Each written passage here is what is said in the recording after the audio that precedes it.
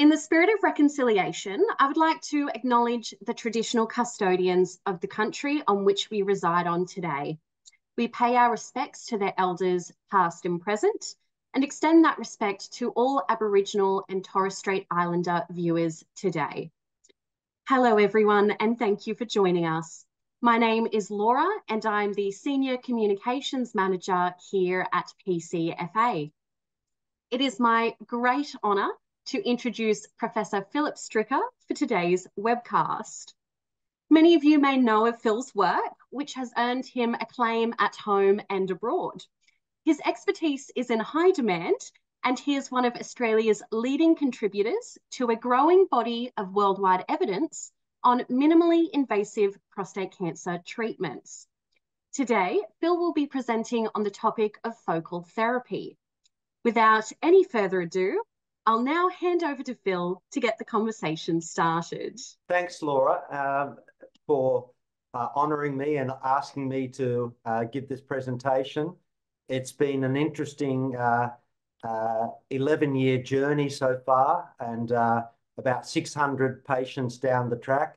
And um, I, I, have to uh, mention how honoured I am to come back to PCFA because PCFA was very close to my heart, and I was uh, basically one of the key players that actually created its formation many, many years ago. So it's lovely to come back and talk about something which is um, protecting the quality of life of some of our patients with prostate cancer. Again, thanks for inviting me, and I'll, I'm just going to run through uh, a little bit of a background of focal therapy, and then I'm going to run through a our results and um, how we use this focal therapy and tailor it to different people. just a little bit of background that, um, you know, what are the treatments for localized prostate cancer these days?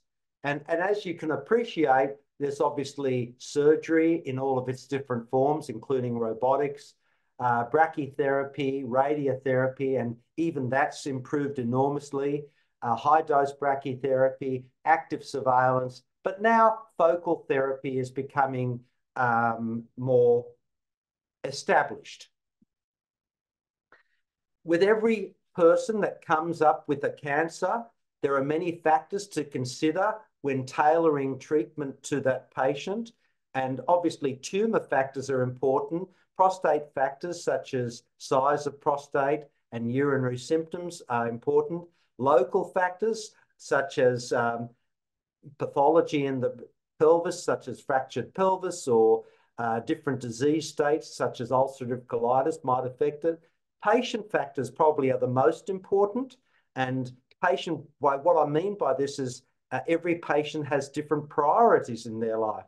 And um, not only might they value sexual function or their situation may be uh, you know, impacted and they may have certain priorities. You know, they may have an enormous fear of incontinence, uh, but every patient has their own priorities. And then, of course, there's institutional factors such as local expertise. One institution might be better at surgery than radiotherapy, another may be the opposite. We all know that um, it's a multidisciplinary care in prostate cancer. And uh, having a medical oncologist and radiation oncologist involved, uh, having patients with their wives, discussing with prostate cancer nurses, something the PCFA has done brilliantly, uh, discussing with sexual health physicians, uh, all very important. And this can individualize or help us individualize treatment. But when a doctor is talking to a patient, uh, they may be thinking of different things. Um, one, you know, the patient may be thinking of continence or urinary control uh, or sexual uh, function. And the priorities that the patient and the doctor put on these is often different. It's important to realize that patients are fully prepared to trade quality of life for length of life. And this is a study that we did with uh, the Cancer Council of New South Wales uh, over a decade ago. And here you can see that uh, if a patient knew that they were going to have severe urinary incontinence, they would be prepared to trade 27 months of life expectancy to avoid that. And, you know, different patients have different priorities, and it's important that this is discussed with the patient. It's the patient's decision. And then, of course, there's different types of patients. Every person that walks into my office is a different type of person. Some of them are the, I quote, I want it out type. And some of them are, you're not taking, I'm never going to surgery type. But then, of course, there's the, um, the patient who comes in who has a stack of information and they want to be part of the decision process. And then there are other patients who want to rather um, the doctor take understand their situation and give them a recommendation. And everybody's different. Active surveillance, as you know, is one option in prostate cancer. And whilst it has been popular for Gleason 6 tumours, increasingly it's becoming popular for some good Gleason 7 tumours. And what we do in this group of people is we monitor them and recent data has shown that even after 20 years, it seems to be safe. Robot radical prostatectomy uh, then came in about 20 years ago. And, uh, you know, is it really better? Well, um, we published um, after many, many cases of uh, robot radical prostatectomies, and it is now the gold standard. In fact, it's the gold standard over open surgery, although um, obviously a very good open surgeon still gives excellent results. But these days, all the young budding urologists are coming up and they're, they're training extremely well doing robotic cases. And um, it's now been shown beyond much doubt that it's a quicker recovery and probably gives better results, particularly in difficult cases. But there's a learning curve. And, uh, you know, you don't want to be the first person on the learning curve. And it's critical to understand that when you're doing this type of surgery, that you know, you're really trying to get rid of the cancer, but at the same time protect the nerves. And obviously, there's only millimeters of margin of safety there. Uh, this was a diagram that it's not all or nothing. You don't just spare the nerve or you don't spare the nerves in surgery. And so with surgery, um, you know, if you go out and take all the nerve out, you don't get any potency. Whereas you, if you really protect the nerves, you can get up to 95% potency recovery. And always remember that the, the surgeon is the most critical key in surgery. Radiotherapy is also improving. And uh, whilst this is the standard radiotherapy machine, and they can really increase the dose to certain areas, there are new machinery out, uh, such as the MR Linac machine, where radiotherapy is done inside an MRI machine. We had the first one here at St. Vincent's some time ago, about four years ago, and we've now done over 400 cases. And in five treatments over 10 days, this can now be completed. So everything's moving to improve the quality of life of patients. So why then does focal therapy emerge? Well, the reason why focal therapy emerges is because the imaging with MRI and PET scan and better biopsies have made us able to get more detail of the cancer. And if it's just localized to one tiny area, then that may be suitable just to treat that one area. Similar to breast cancer, where lumpectomy, for example, is being used, or similar to kidney cancer, where you take only part of the kidney out. The other reason why it's become popular is because we've realized from some of the big studies, and you're not expected to know these studies, but they were called the Protect, Pivot, and SPCG4 study. It was shown that um, we're over treating prostate cancer.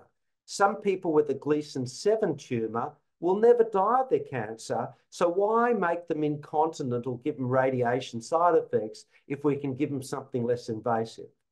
And then another piece of information came out showing that most cancers which spread to other parts of the body from prostate cancer come from one little area. So if we could get rid of that one little area, then that may protect you as well as surgery or radiotherapy. And then, of course, finally, the critical factor is patient preference. Patients don't want their prostate removed. Patients don't want radiotherapy and the potential side effects. So if they can have a day procedure and have their treat their cancer treated, even with monitoring, they may be happier.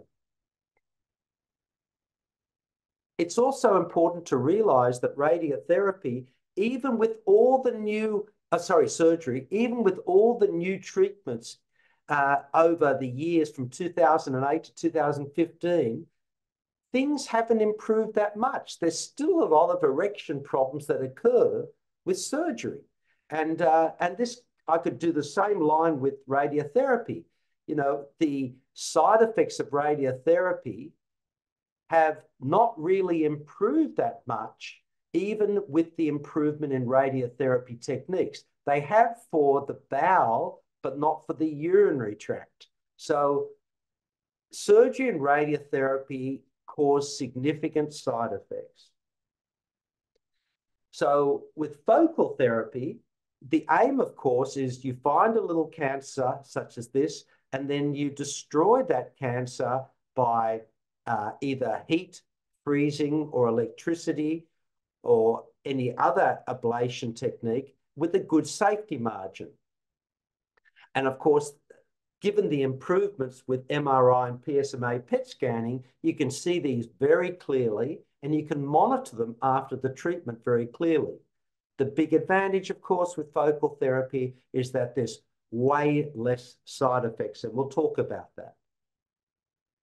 Now, focal therapy isn't just one spot. Sometimes there's two spots next to each other. Sometimes there's two spots not quite next to each other. Sometimes they're at the front. So, but what it is, it's treating only part of the prostate to try and minimize the side effects. And the energies that we use, uh, besides what I'm going to talk about, which is the NanoKnife, uh, high intensity focused ultrasound, cryotherapy, brachytherapy, and laser therapy.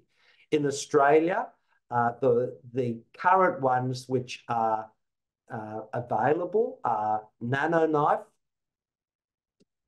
which is IRE, irreversible electroporation, brachytherapy, which is uh, radioactive seeds, and laser therapy. HIFU is still available in Australia, but it's becoming less popular. Now, if we look at the current treatment, if you've got a low risk cancer, we treat it with, of course, active surveillance. If you've got an intermediate high risk cancer, we treat it with whole gland therapy such as surgery, brachytherapy, or radiotherapy. Now, isn't it, wouldn't it be nice if the low risk ones were treated with active surveillance, the high risk ones were treated with whole gland therapy, and the intermediate risk ones, which constitute a large group of people were treated with focal therapy and without all the side effects of surgery and radiotherapy. So if we look at the side effects of surgery, radiotherapy and focal therapy and compare them, urinary issues, obviously surgery and radiotherapy have quite a lot of urinary issues, uh, but focal therapy has minimal. Incontinence, Surgery, of course, has the highest chance of incontinence. Even radiotherapy has some, but focal therapy almost has none. Impotence. The chance of impotence is quite high with surgery or radiotherapy. It's very low with focal therapy. And then, of course, the bowel damage is much more common with radiotherapy, but very rare with focal therapy. And the chance of follow-up treatment after focal therapy isn't that different from the follow-up therapy that may be needed after surgery or radiotherapy. So that's why focal therapy is becoming a more popular option in selected patients. This is a picture which shows that the cancers that are in the prostate, just over here, this little group here are the group that actually spread to the rest of the body. If you could get rid of that group of aggressive cells which could move, that may be all you need to do rather than treating the whole prostate. And this was called the index lesion. I suppose the next question is, how quickly is this being taken up throughout the world? This is what's called the heat registry of HIFU focal therapy in England. And as you can see, there are big numbers of people now choosing focal therapy in England. Indeed, in England, HIFU is the most popular, but irreversible electroporation or NanoKnife, as well as cryotherapy, are also now approved therapies on, available on the NHS. So who's the right person for focal therapy? And I apologize for this slide because it's pretty busy, but I'll only about 20% of people who come in with a new cancer are suitable for focal therapy. And there's no point treating focal therapy if it's all over the place. Then you need whole gland therapy, such as surgery or radiotherapy. But the ideal group are not the people who are suitable for active surveillance. So not Gleason 6 tumours. The ideal group are the people who have got a Gleason 7 tumour, and in this group, particularly in an older age group, it helps avoid over-treatment and excess side effects. It should be, of course, focal. It should be thoroughly evaluated by a biopsy transperineally and high-quality imaging, and that imaging is going to be MRI or PSMA or both the biopsy should line up perfectly with the imaging, and they must accept follow-up intensive monitoring to make sure that all the tumour's gone.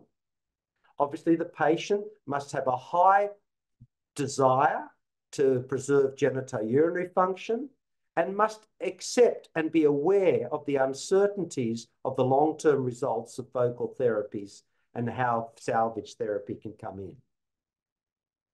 Now, the reason why I've gone with NanoKnife as an energy source is because it's reliable. It doesn't rely on heat or freezing, so therefore it works irrespective of the nature of the tissue. It's very easy to broaden the field, and it's been shown that it's very important to widen the field to kill a safety margin around the tumor. There's less collateral damage, even with wider treatment. Within a, it's well within our skill set as urologists, so it's not hard to do. These things take me about 45 to 60 minutes to do. There's no need for complex and expensive in-bore treatments inside an MRI machine. It's suitable for all parts of the prostate and it doesn't burn your bridges. You can still have surgery or radiotherapy if it doesn't work. It's got min minimal limitations. You can do it in the front of the prostate, the apex, the posterior. If it's calcified or there's pieces of metal in the prostate, it has no effect on the electricity or the irreversible electroporation. You can even put the urethra in the middle of the field and the urethra will still survive. And uh, even if the cancer is a little bit outside of the shell of the prostate, you can still do irreversible electroporation. The great advantage of this is that it seems to allow, because it's not thermal, greater recovery of erections. So to summarize then, the reason why um, I went with the NanoKnife treatment or what's called irreversible electroporation, it's reliable, it's a quick day surgery procedure, it's repeatable, it's got the potential to preserve structures, and salvage radical prostatectomy or radiotherapy are still possible. So this is how it's set up. The patient's anesthetized. We have an ultrasound machine and we put little needles into the prostate to ablate the prostate, 45 to 60 minutes. This is the NanoKnife machine. It's just got little electrodes that go in. And this is, for example, a little spot in the prostate which is a cancer. And so if we were to treat that, what we would do, there's the cancer, we'd put one electrode here, one there, one there, one there, and then we'd start putting electricity while the person's asleep between each pair. So first between that pair, then that pair, then that pair, then that pair, then the crosshatches. And then once you've done all that and you do an MRI a week later, you'll see that all that area is dead. And so the cancer with a safety margin is treated. The monitoring afterwards is fairly simple. It's every three months for the first year. An MRI is done at six months. And in one year, we strongly recommend a biopsy to make sure that the cancer is gone. How does it work? We pass the electricity across a cell and it puts little holes in that membrane of the cell from which it cannot recover. And the beauty of it is it makes no difference what the nature of the tissue is, this will work and get rid of all cells. But the great advantage, and this is an electron micrograph showing the little holes in the cells that it creates. The great advantage of IRE, or electricity or irreversible electroporation, is whilst it kills all the cells, all the structures like uh, blood vessels and urethras do not get destroyed. Their cells die, but then they recover and the structures continue. So if you've got, for example, a tube going through the middle of the uh, prostate, such as a urethra, you can put the tube there and the tube will remain intact. Whereas with heat and freezing uh, treatments, it destroys them. One of the other advantages of NanoKnife is that Willemien van den Bos, uh, eight years ago, did a study of 16 people from the Netherlands where she did NanoKnife treatment to them, and then one month later, they had their prostate removed. And she found that there was no surviving cells within the NanoKnife area. And this is very different to some of the heat and freezing treatments, which have never been proven to be as reliable as this. And if you compare it to other forms of treatment, such as HIFU, focal laser, cryoablation, focal brachytherapy, they're all reasonable treatments. And this is a review of all of these treatments, but each one has their advantages. Um, the advantage of uh, irreversible electroporation has got a very low in-field recurrence. So it seems to be reliable in killing the cancer, whereas some of the other energy sources are not quite as reliable because things like the nature of the tissue can have an effect. But I think it's probably quite important to say that any focal therapy has benefits and advantages and the reason why I've gone with irreversible electroporation is because it has some benefits, but a well-performed focal therapy of any type um, is fine as long as they know what the limitations are of it. I do have some concerns about the other energy sources, however. HIFU, which has become less popular in Australia, um, has a high failure rate within the area of treatment. And it also is affected by the size of the prostate, calcification in the prostate, and you can't do certain parts of the prostate. Similarly, with laser, the extreme apex is difficult and it's quite hard to broaden the field. And generally, you have to do it inside an MRI machine.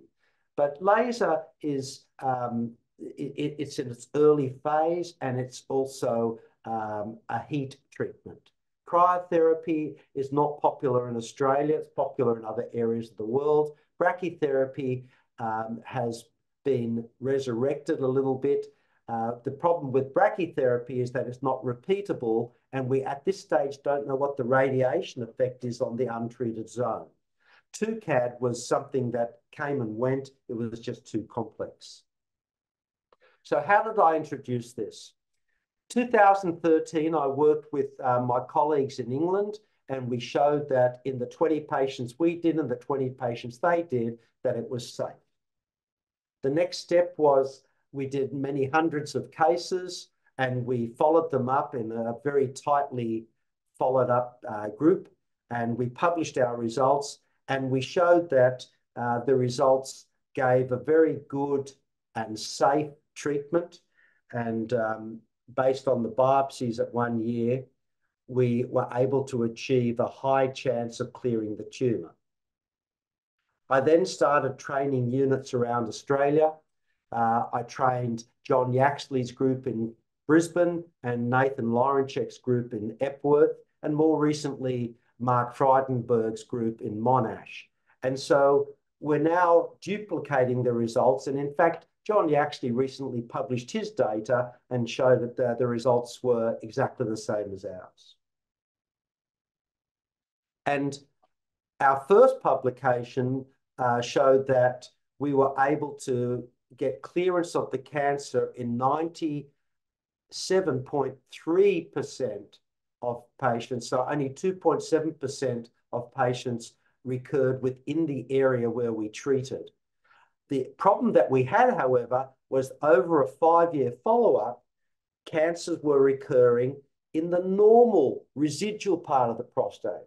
So obviously, um, there is a tendency, as with breast cancer, if you do a lumpectomy, that the rest of the prost or breast or prostate have a chance of cancer there. And we have to get this down. And um, we have some theories as to how we might do that. This is just uh, another advantage of NanoKnife. We showed that at the extreme apex of the prostate, and we did 50 patients at the extreme apex, that we were able to clear 97.5% of those. And even though it was right near the sphincter, uh, by 12 months, we only had a 2% incontinence rate, and that dropped down to zero at 24 months.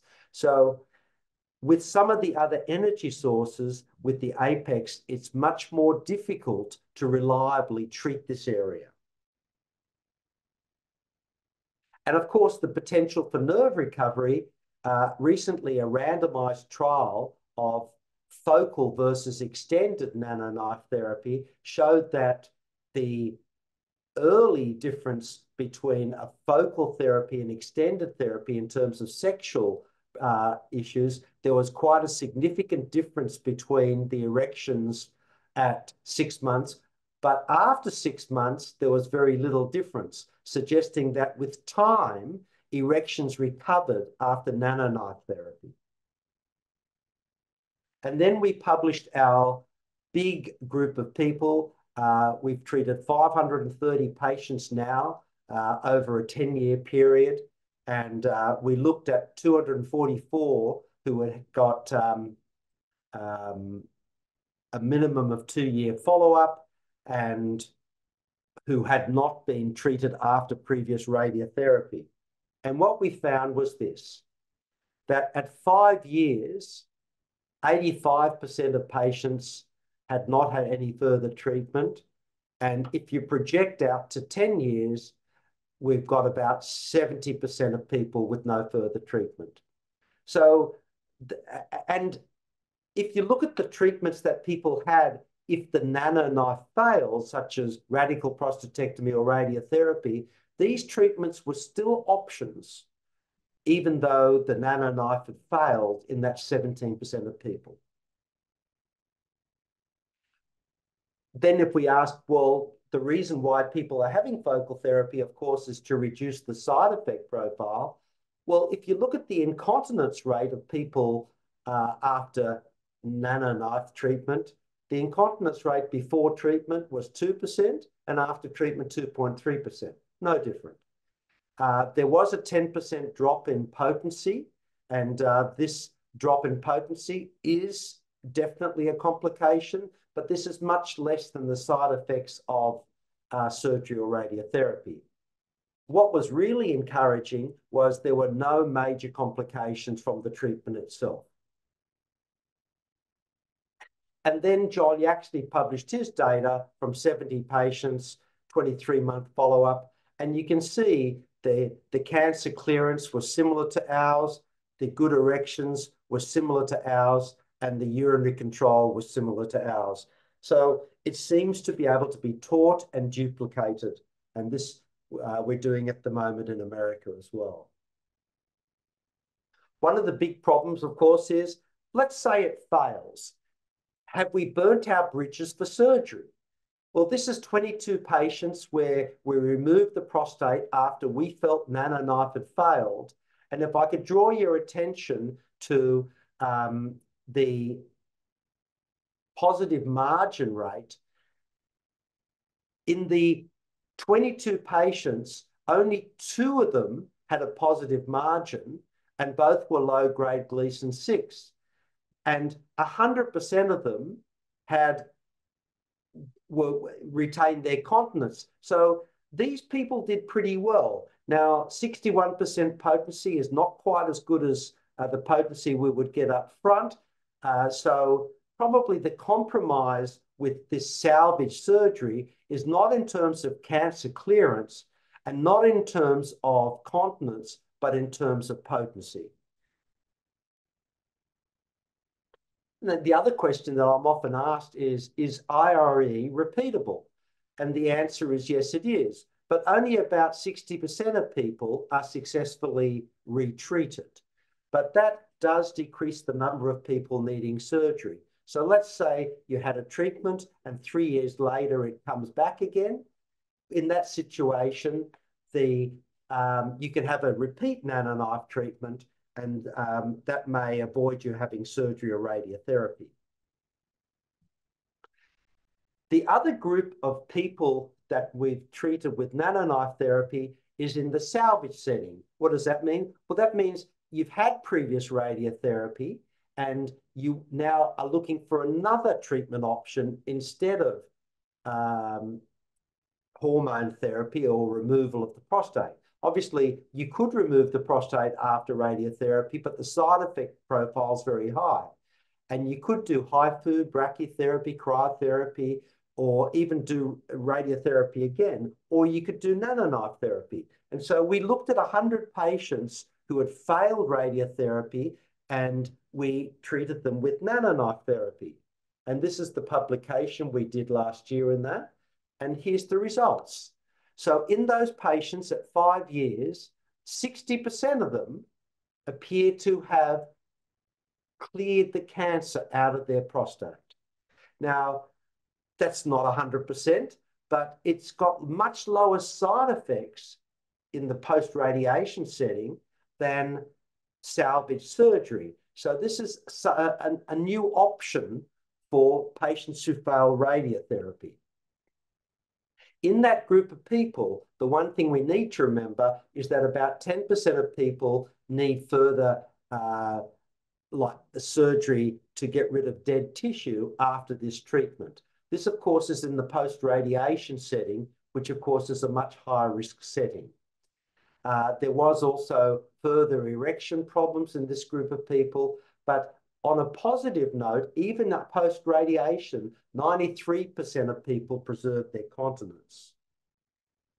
This is just a comparison of all the different treatment options of uh, um, post-radiation treatments. And if you look at the five-year outcomes, it's very similar whether you have surgery, cryotherapy, HIFU, NanoKnife, high dose rate brachytherapy, brachytherapy, they're all very, very similar in terms of curing of between 50 and 60%. Um, however, they're very different in terms of the side effects in genitourinary side effects and gastrointestinal side effects. We like the NanoKnife here as it seems to have a low side effect profile. So what's the future of NanoKnife then?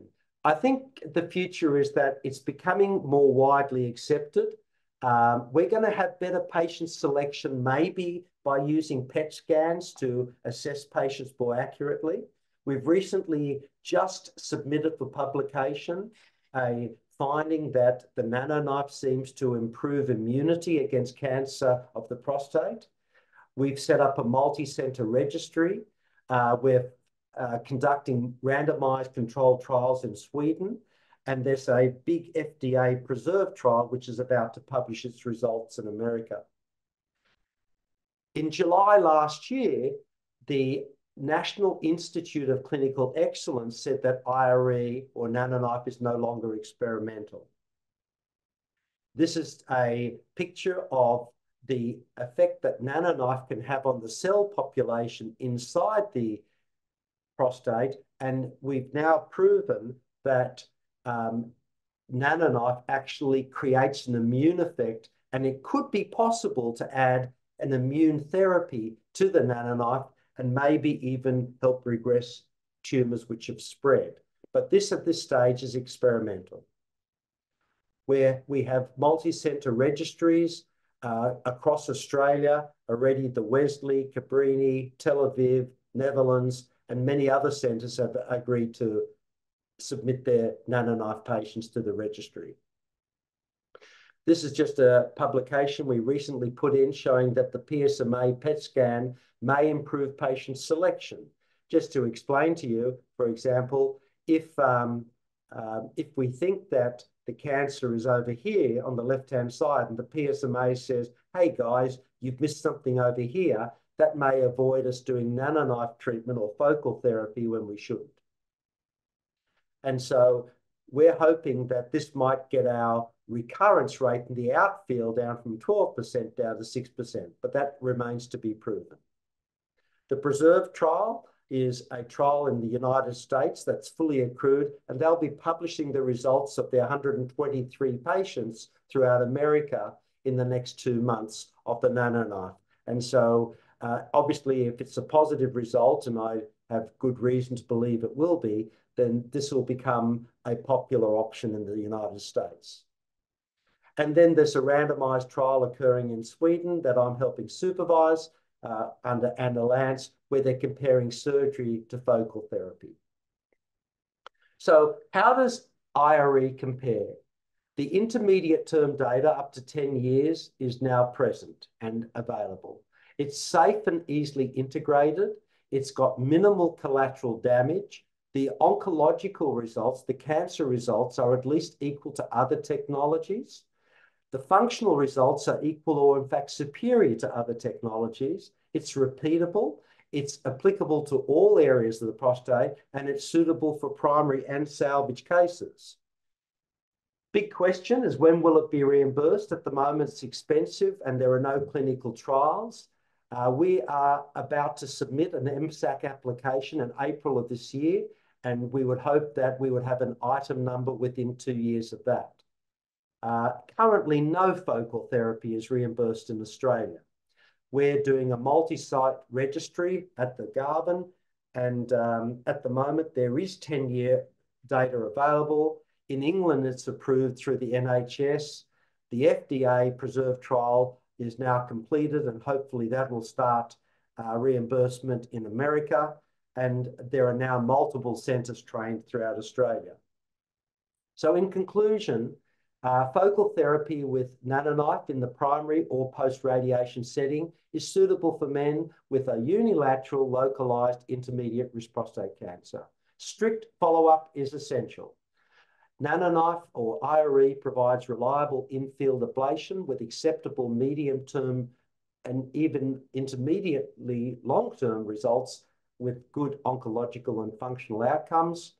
Uh, we need better patient selection and maybe PSMA may help then. I didn't go into epigenetics because that's a little bit too more too experimental. And long-term registries are essentials and are underway. So in summary then, Focal therapy is not the future, it's the present. Focal region or segment, up to 25 to 50% of prostate can be treated. Follow-up has to be very diligent and focal irreversible electroporation is my choice, but I can see no reason why a well-performed uh, laser treatment or a well-performed brachytherapy wouldn't also be appropriate. So thanks for your attention. And just to finish off with a challenging slide, and as you can see, due to technological advances, everything I taught you about computers is no longer valid. And of course, this is what's happened with all these things. Uh, focal therapy is now here. It, uh, it's not making other things invalid. It's just adding another treatment option. That was absolutely wonderful, Phil. Thank you so, so much. Uh, I, have to say, this topic has been extremely popular with the prostate cancer community here in Australia. Um, when we did put a call out to the community for questions, we received many. So, to attempt to get through some of these questions, uh, and I do think you have um, at least partially answered actually during the presentation some of the questions that our community have had. Um, but look, we'll dive in. Um, so we put a call out to our support groups and also to the wider prostate cancer community. Uh, we did receive a lot of questions and we will do our best to get through them. We will start off with a question regarding um, given the limitation on MP MRI resolution of very small tumours, and given the potentially metastatic nature of some prostate cancer microtumours, how can focal therapy alone provide any confidence of a cure? So, so it, it's an outstanding question because re really um, below the five millimeter size, you can't really see tumors in the prostate. But on the very positive side, um, unless you've got a Gleason 9 or 10 tumor, which is not our area that we're focusing on, we're focusing on the ones which grow to quite a large size, the Gleason 7 tumors, where they're still curable and they haven't spread. So if we focus on that group of people and we treat those with focal therapy, then we will minimize the side effect profile and they're not the ones that have spread early and they're the ones that can grow to a reasonable size so we can detect them. So I think that it's horses for courses. Uh, I agree that this doesn't solve the problem of high-grade cancers, Gleason 9 and 10. These, these ones spread very early and very quickly, and they need more systemic therapy. But what we're addressing is the group in the middle, the intermediate risk prostate cancers. That's perfect. Thank you so much, Phil. Okay, so I'll jump to our next question here, which is Are there any clinical trials where focal therapies have been combined with limited duration hormone therapy to improve the chances of a favourable outcome? Um, again, um, not only hormone therapy, but immunotherapy and chemotherapy have been combined with focal therapy programs. Um, there hasn't been one in a formal clinical trial yet. And the reason for that is focal therapy is in its infancy still. And, until focal therapy can be proven to be safe and can be proven to work uh, in intermediate term follow-up, it's unwise to start adding it to other things as well. So that's the next stage. And uh, at St. Vincent's, I'm going to be adding a immunotherapy uh, to the NanoKnife as something to tr try and combine it.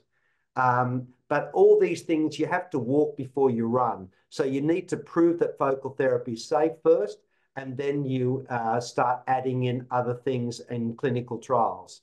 But yes, that's certainly on the radar. For example, in New York at the moment, they're doing a trial of combining radiotherapy with NanoKnife therapy. And so, as with breast cancer, as you can imagine, with breast cancer, when lumpectomy came in, they're worried about the outfield. And so, that by having radiotherapy to the outfield, that may minimize the chance of an outfield failure. Um, I wasn't comfortable with joining that trial, so I didn't join that trial uh, for many, many reasons. But, but, but yes, people are thinking about this all the time. And, um, and I think hormone therapy is probably not going to be the thing they combine with it. I think it's going to be more immunotherapy or radiotherapy. Very well put. Thank you. Our next questionnaire has asked how many focal therapies or interventions can you have? Most people will say two. Um, th there is no question I've treated one or two patients at their absolutely very strong request four times.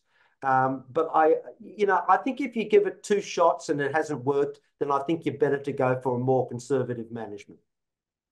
Yep, absolutely. Uh, the next question is, can you mix and match focal therapies?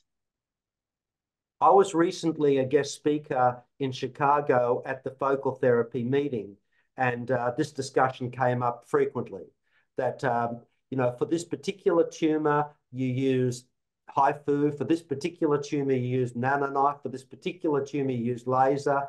Um, I'm not a believer of that. Uh, I'm a believer that you have to be good at one focal therapy. You have to do it really well, and you have to have a technology which can be applicable to all prostate segments, which I think NanoKnife is. Having said that, if somebody is going down another pathway, then as long as they do it well and they do it diligently and they follow up, follow up carefully, and then they work out what areas the prostate don't work with that, then they can add it another one. I haven't found that necessary with the NanoKnife. Fantastic. Our next question is looking ahead at the future of focal therapies, and we'd like to get your perspective on if you see any new methods of focal therapy coming out in the next sort of five to 10 years. I, I think that focal therapy um, there will be better selection of patients for focal therapy, and there will be better targeting of the treatment with focal therapy. And so the selection, I mean, one of the big problems is with prostate cancer, we believe that the whole prostate has a tendency to form cancers. And so just treating one area is not ideal. Um, I mean, sure, if we select the right patient, 83% of them do well long term, but it's not 100%. So to approach 100%, we have to have a pretty good idea of the rest of the prostate. And we have to know whether the rest of the prostate is going to develop other cancers. And so there are there's a science called epigenetics, which is looking at that with a thing called uh, GST pi and they uh, they do analysis of that, and they can tell you whether in the next five years something's going to pop up there before you can see it. And so, if we can predict that, I think that's going to be part of the future of focal therapy, being able to predict it. And then, how can we more accurately target it? Well, I think with um, you know, we wouldn't drive up to Byron Bay without having a, uh, uh, you know, our Google Maps and everything. And I think the Google Maps in the prostate are going to become much more accurate, and we're going to be able to really target in there with uh, technology exactly where the tumor is with a safety margin. And I think that type of accuracy will improve as well. Fantastic. The next question refers to radical prostatectomies um, and is are there any new treatments, uh, specifically, of course, referring to focal therapy here, that might be able to compensate the negations caused by radical prostate removals? So, I think what you're saying is, um, um, you know, radical prostatectomy is still the gold standard. And, and so, wouldn't it be nice if nobody became incontinent or impotent? I think that's what you're saying. Yes. And um, I think we now have some people in the world like Viv Patel who've done 14,000 of these and tried to perfect the technique. And he's certainly improved it, but he still can't get quite down to the no incontinence and no impotence stage. So I, I think it's plateaued radical prostatectomy. I, I think we don't totally understand the cause of impotence. Some of it's vascular, some of it's neurological. We don't completely understand the cause of incontinence. And so until we totally understand it, we won't. Having said that, I recently listened to an amazing discussion over in America by Mani Menon. Now, this will be interesting to some people. And he described a new surgical technique where you leave some of the prostate behind, but you protect the sphincter and you protect the nerves but you leave some of the prostate behind. So it's almost like a surgical focal therapy. And so he showed unbelievably good results, but he's leaving some prostate behind. So we've got the same issues again. So is that the future? I don't think it is, but it was an interesting presentation. Absolutely, yes. Um, our next question is a little bit left of field, and it's going more towards the holistic sort of treatment view of prostate cancer. The next questionnaire is asking, uh, in your opinion, what is the relationship between the prostate and diet and supplementation? Well, well I think there's been a lot of uh, data over the last 30 to 40 years looking at diet and supplementation. And uh, probably the strongest data comes out of Japan, where um, traditional Japanese families, particularly in places like Okinawa, have shown that um, the incidence of cancer in those traditional communities was ridiculously low. And people speculate as to why that was the case, but when they emigrate to different parts of the world, within one generation, they end up with the same incidence of cancer as our Western society has. And people speculate it's due to uh, obesity, eating too much. It's uh, to do with refined sugars. It's to do with saturated fats. It's possibly to do with supplements, you know, deficiency in selenium, lycopenes. Uh, but I personally think that um, one of the big, big factors, and I think there's three of them, which seem to be the big factors. Not so much supplements, but I think the big factors are one, obesity. I think we eat too much as a Western society. And one of the things that they do in Okinawa is that they always leave some food on the plate. They never complete their meal. The second thing is refined sugars. We need to stop eating so much refined sugars. And the third thing is too much saturated fat. They're the big ones. Now, the small items, such as all the supplements and things, I think there's sugar on the top. I don't think they're the main uh, story. Yep, Absolutely. Very well put. Thank you. Um, we've just got one more question left, which is Are do it yourself or at home PSA testing kits going to become available in the future?